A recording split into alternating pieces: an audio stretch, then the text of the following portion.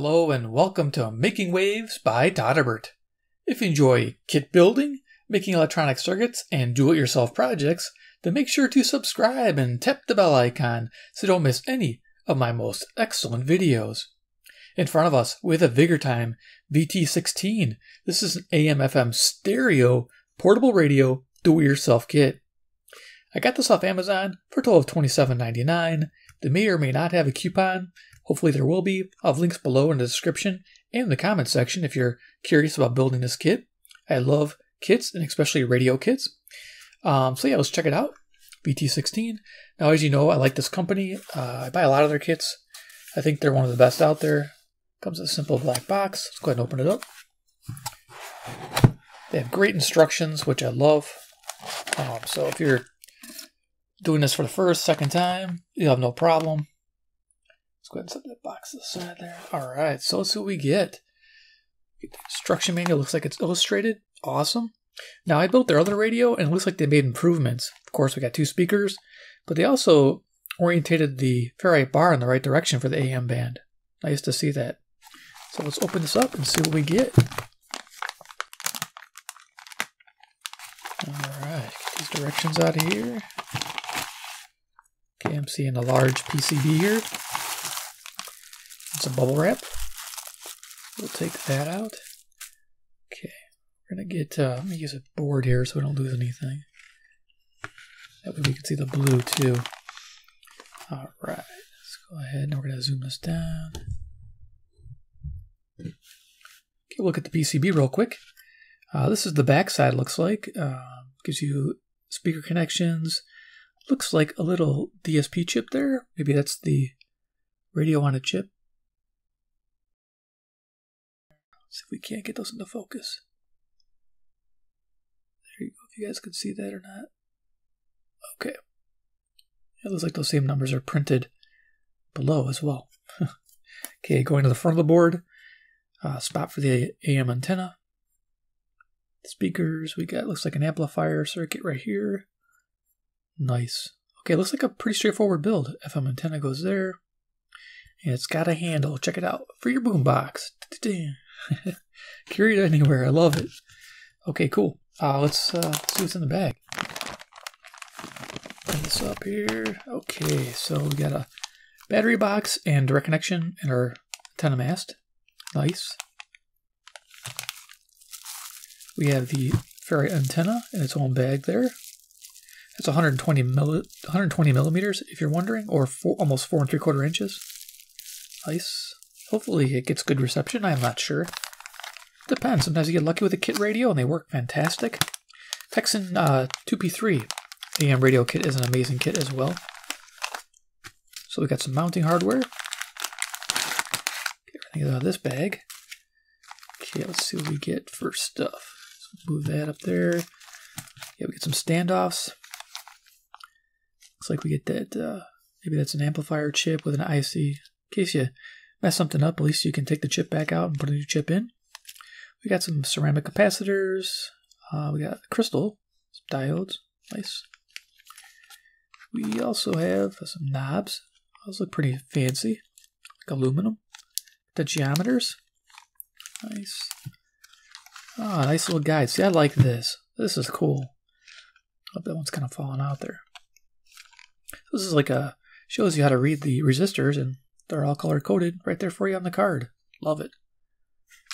That's a nice touch. Okay, and then what else we got? We have a bag of electrolytic capacitors and some switches and the power jack and looks like a tuning or power on indicator. I think that's a tuning LED, so hopefully that works well too. And last but not least, we have the two speakers. Um, yeah, they're not gigantic, but uh, I'll do a little mini review when I'm done building this kit. Got the hookup wire there. Beautiful. All right, so there's the kit. All the parts and pieces. Boom. Nice. So what I'm going to do is set this aside and, oh yeah, I can't forget about the AM antenna as well. Set this parts aside and show you what I'm going to use to build this kit. And then we'll go over the build process. So let's go ahead and move this out of here. And we're just going to bring this back into frame. Pretty cool. Awesome. Liking that. Know, I'm just going to put the corner there. There we go. VT16 AM FM radio. That's going to be fun to carry around. I am going to carry it outside. I'm going to prove. I'm going to take pictures too. Um, tools I'm going to use. Well, first, solder, right? Always got to have that. I use 6040 tin lead based. Um, just wash your hands after using it. It'll be fine. I use a real thin uh, style. This is, uh, what is it?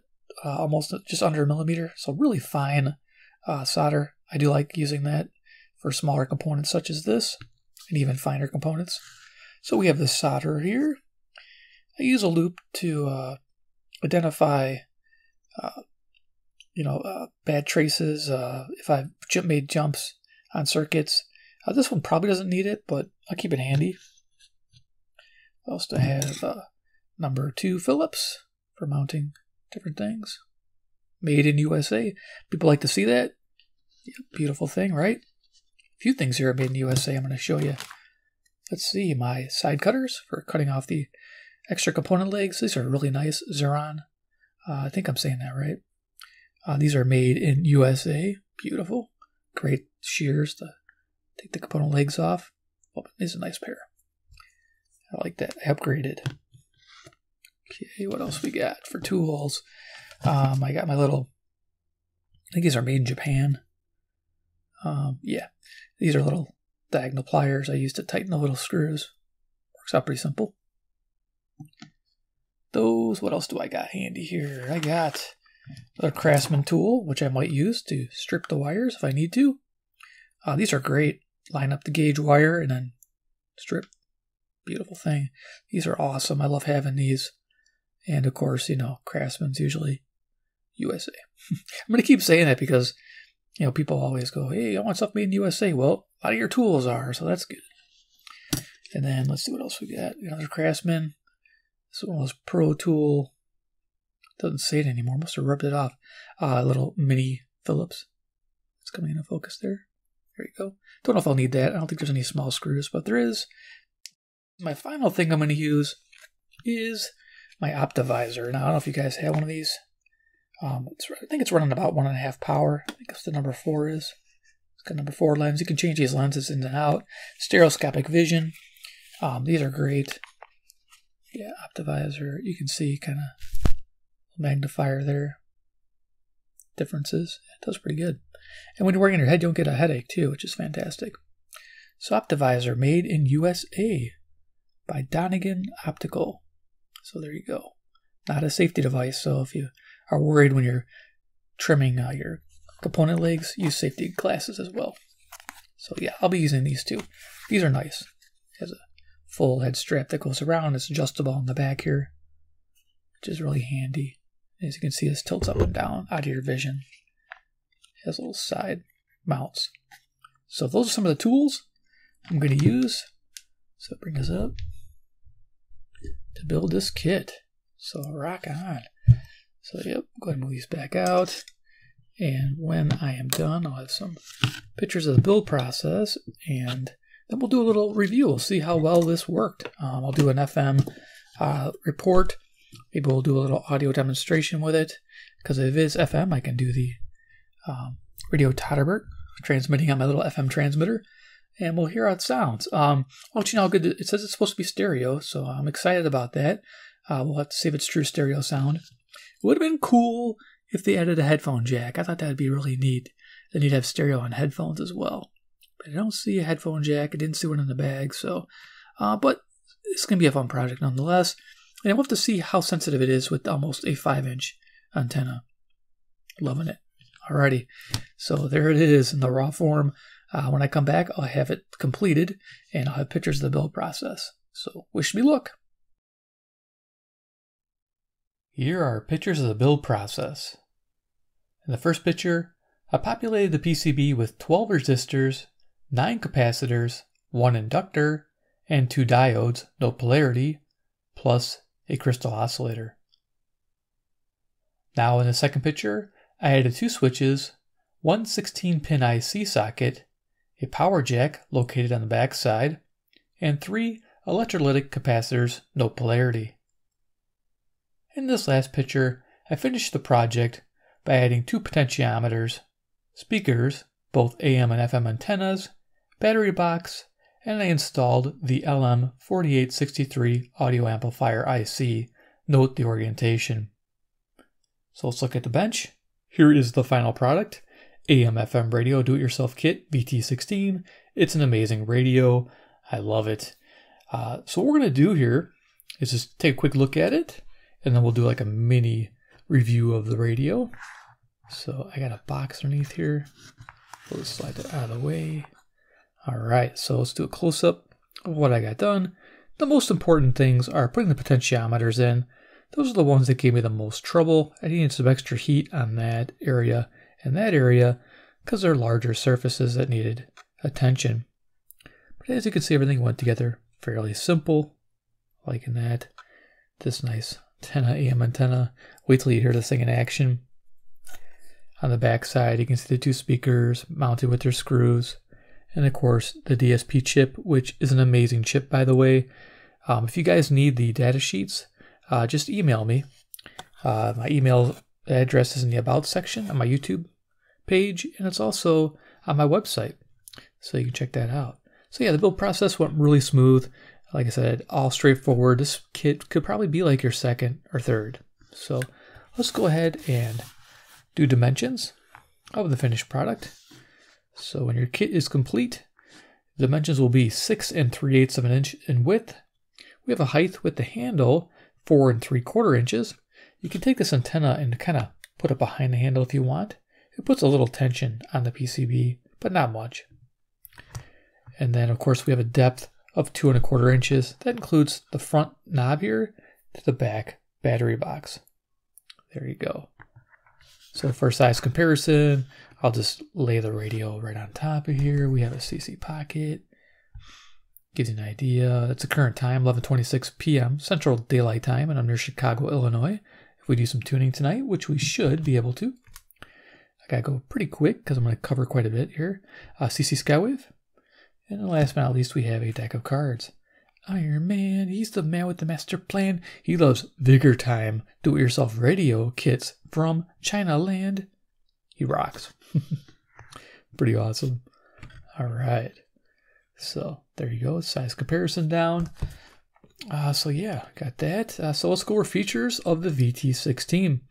Right away, uh, we went over this. The AM antenna installed. It can be installed on the front or the back side, which is nice. I chose to keep it on the front to kind of show the radio off. And people can ask what that's about, and I can explain it. So it's four and three quarter inches or 120 millimeters. It's very sensitive. The circuit is amazing when you start to hear what you can pick up with this.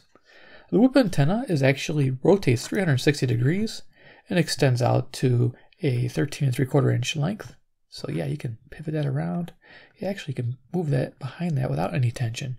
I forgot it does pivot 360. Love that. Uh, so very good. Um, tuning, as you notice, there is no dial. You have to go by ear. It's actually not that difficult. I have no problem going through the entire band. Now you get the full FM band and the full AM band. Yes, get it all. it's a, a, great radio. Um, very happy with it. LED tuning light, FM AM band switch, your on off power control. There's the audio amplifier circuit. Um, again, very basic, our little inductor. Uh, the two speakers here, two inch speakers on each side.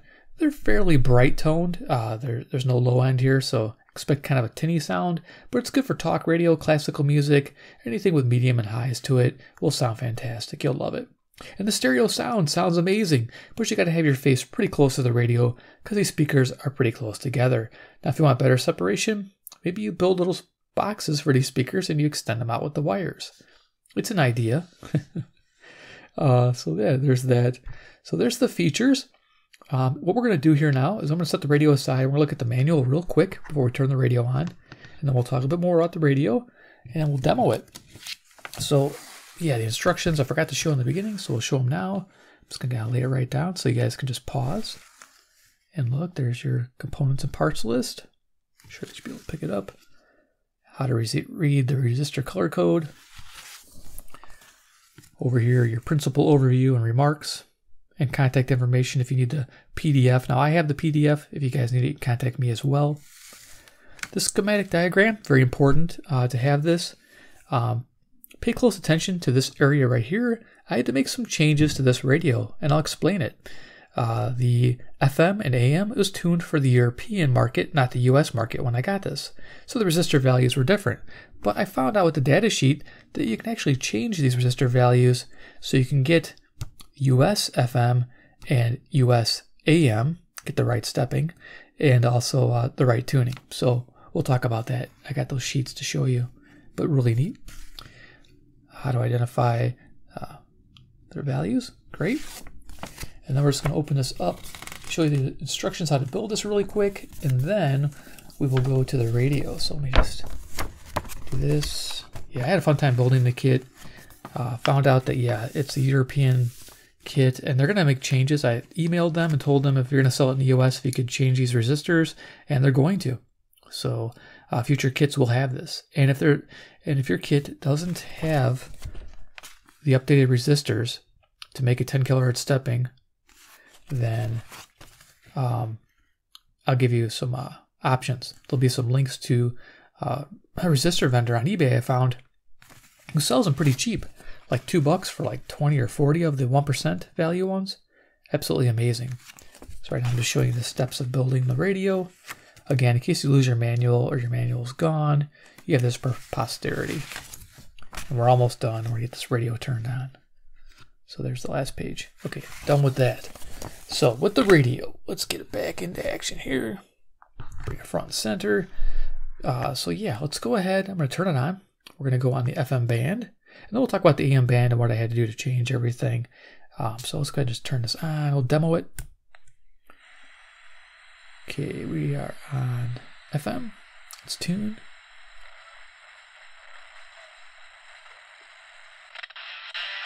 There we go, Radio Todderbert. I'm using an FM transmitter, C Crane. Uh, transmitting on 97.7 with royalty-free music from YouTube. With an attached player for my Sony there. Broadcasting to this radio so you can get an idea what it sounds like.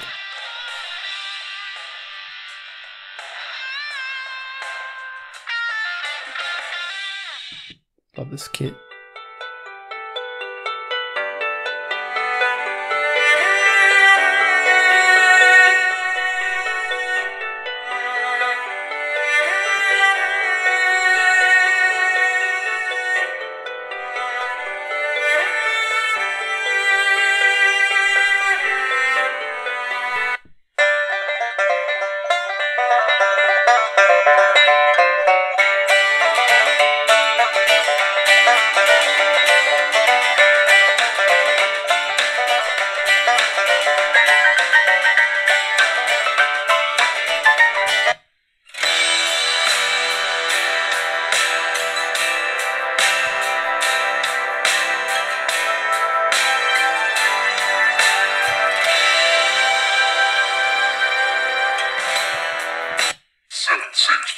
You'll never have the sacred stone.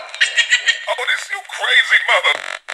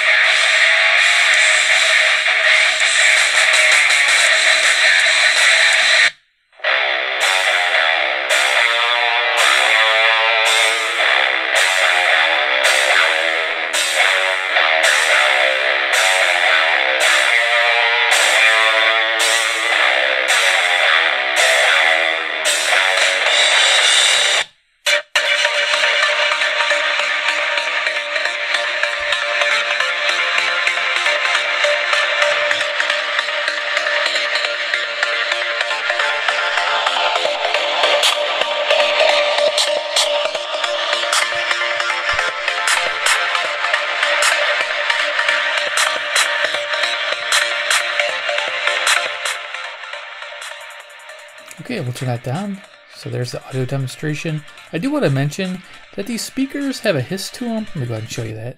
So I'll turn it off. Right now we're broad- it's broadcasting silence. A little bit on the FM. And when we turn this all the way down, you'll hear that it has a hiss at zero volume. We turn the volume up just from zero. It cuts away. That's something to do with the amplifier circuit. Mentioned to the company, they're going to look into it. So maybe they can modify something, or it's no big deal. It to me, it's just a one little thing, and it's not a, you know, for me, it doesn't bother me. Some people it might bother them. There's AM. Okay, so what I want to do is talk about FM reception real quick. FM reception report. Everybody likes to know how good was the FM. Um, I tune it in one location when I do all my radios, and I found about 62 stations. We'll put it in a three-star category. I have fair, okay, good, uh, very good, and excellent, so five-star rating. Uh, most like average analog radios from back in the day, like this GE uh, pocket radio. Not really pocket, but big radio. it's all analog. It gets about 48 to 50 stations, putting it in the okay to good category. This being a DSP chip finds more stations, and yeah, it's uh, it's amazing. So yeah, definitely got a good rating on sensitivity and selectivity is good as well. Uh, if the antenna was longer, it might pick up more. So we'll go ahead and just pivot this up. We're gonna do an FM band scan. We're gonna show you AM real quick. But before I do get started, I want to mention what changes I did to this board. So uh, to make this uh, work on an on the uh, U.S. market, I had to change three resistor values. Okay, so you're going to need to buy uh, two types. Um, you're going to need to buy the 160 k ohm resistors, and going to need to buy one of the uh, 68k resistor. So I'll tell you what I changed. So R4 changes from 47k to 68k, so you can get the uh, FM 75 de-emphasis, which I'll show you on the sheet. And up here in R3, that's to help set the 9 kilohertz and 10 kilohertz for AM band. There's five different AM bands for this DSP chip. Amazing. Uh, the value there is 160 uh, k ohm. And if you can zoom in, you can see the color banding on those. Okay. And then R2 has to change. R2 is the total to ground, and I had to go to 160 as well. So R2 is 160, R3 changed to 160, and R4 changed to 16 or changed to 68, excuse me. So used to be 47, now 68. R3 used to be 191. Then R2 was 150, and now it's 160 for balance. And I'm going to show you some cool sheets real quick, and then we'll get turn this on. Uh, yeah, it's a little long video, but this radio is so cool. It's worth the time. I wanted to go over this. So here's the sheets. Uh, again, you can email me for these. Um, this is the band definition, which is cool. This chip has uh, ability to have shortwave as well. So this kit can do more than you can imagine, and you can actually modify it yourself if you so please. And it can do quite a bit. If you add switches and resistor values, you can actually access the shortwave that's uh, built into the chip, as well as a stereo LED. And there's even bass treble controls as well. But looking at what I had to change here to get the uh, FM correct, uh, right here, you can see uh, band 3, uh, 87 to 108. To get to the de-emphasis of 75, I had to install resistor of 67K uh, to ground. So that's the last resistor. If you look at the schematic that I showed you, you can rewind. Uh, it shows that that value is 47. I changed to 67. Okay, so that means that uh, the band changes for the AM band. So we just go to the AM band. As you can see, there's 18 FM bands. that's crazy. But if you want this file, let me know. Uh, so for the AM band, uh, you can see um, originally from the factory it was 9 kilohertz stepping. It was 237. So then when I, I lowered it, uh, it came out to 227 to access band 19. So now I have the 10 kilohertz stepping between 520 and 1710 versus the 9 kilohertz stepping it was when it shipped. So there you go. That's total to ground again, 227. So if you look at the sheet, R3 comes before R4, so you got to add those up. 160 plus the 68 will give you that. So, well, close to it. That 68 value is what you get, and uh, one that 1K value is not enough to change it, so it's perfect. And then down here, we have shortwave bands. If you get so inclined, you can build the radio, the shortwave. And then the last page here tells you that you need to, from tune 1 to ground, has to have a total of 500 k ohm resistance. Okay, so that's what you have to do after you do all your selecting your bands. You have to make sure the total resistance is that value.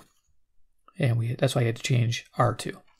So there it is. Cool. So let's get turn the radio on. All right. Just quickly zip through it. Now I'm going to do dedicated AM band scan, so we're not going to spend much time on AM, but we will uh, go to FM, turn it on, zip up through the band, go to the bottom. Okay, turn that off.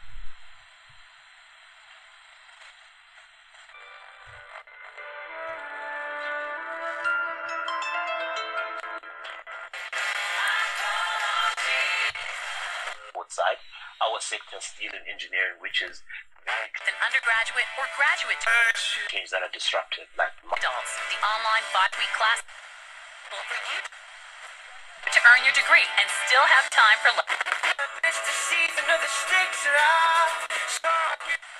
This tunes beautifully. Love this radio. This kit is probably one of the best kits I've built for performance.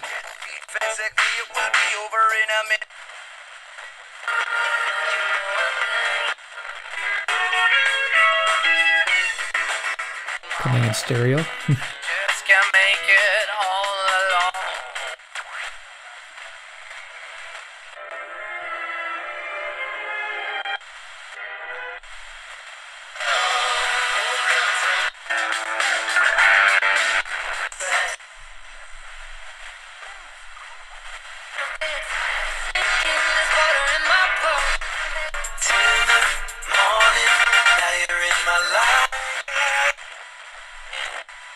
downstairs in the basement. It's coming in pretty good.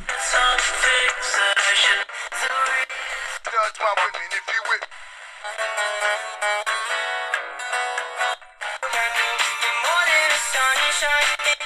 Bears, commend. Coming in good. A lot of stations. O której też już Państwu opowiadałem. Isabel C. Maxwell. Okay, top of the band. So let's switch to AM, and then we'll quickly do final thoughts. So we're Overnight with most not Westerly winds, 8 to 15 across. The clouds and sun tomorrow. Highs up a lot for I think we're at six seventeen hundred at the top of the band. Warmer Friday and Saturday with highs in the low 60s. Another look at the short range, a low of 43 overnight, high of 56 tomorrow. I'm weatherology, meteorology, fall from later. Right now,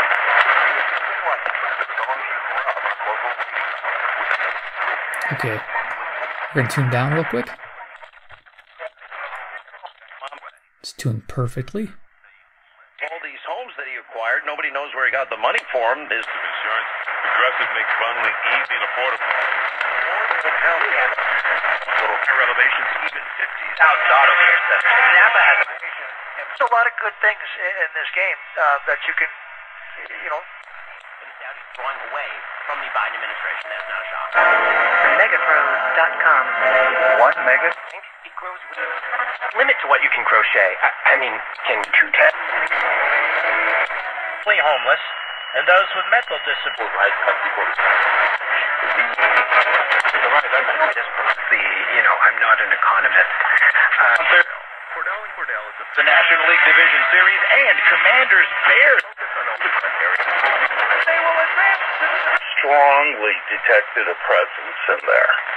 Administrative tasks. Here. Of the headmasters running for Senate in Arizona and Jake. Farming here. So you get the idea. We're gonna, like I said, spend some time and ID all those stations. Um, there's quite a bit. I've picked up uh, WBZ. I've picked up uh, all over. So let's go ahead and turn this off. Do final thoughts. Um, yeah, totally worth building this kit. Um, like I say, if you get the old kit, you just have to pick up some resistors. Uh, I think, like I said, they're two dollars a pack. So I think I had to buy two packs. So I had to spend four bucks to um, get the right resistors. Not a big deal. I can use them in future projects. Um, so there it is, the Vulgar Time or Vigurtime uh, VT16 Vulgar Time as well, same company. Uh, definitely gets a big like for me. Um, definitely check it out. I think you guys will enjoy it. Use the links below for the kit. Uh, if you need the resistors, uh, links below to those as well on eBay.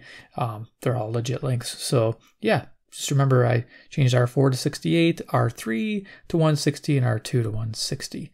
And uh, this thing became a beast. It's now it's rocking. This thing is so amazing. Uh, it, it's just one of the best uh, radios I've built. So I hope you enjoyed the video. Give me a like if you did. Two, if you like a Vigurtime products, you want to see more from them, they're going to make some uh, enhancements. I mentioned about maybe them doing a shortwave radio in the future. That'd be really cool. I think you guys would love to build a shortwave radio. Am I right? If you are, comment below. Say I want to build a shortwave radio, um, and then maybe they'll watch this and uh, see that you've written that, and they will uh, build a kit for you guys. So maybe that'll happen.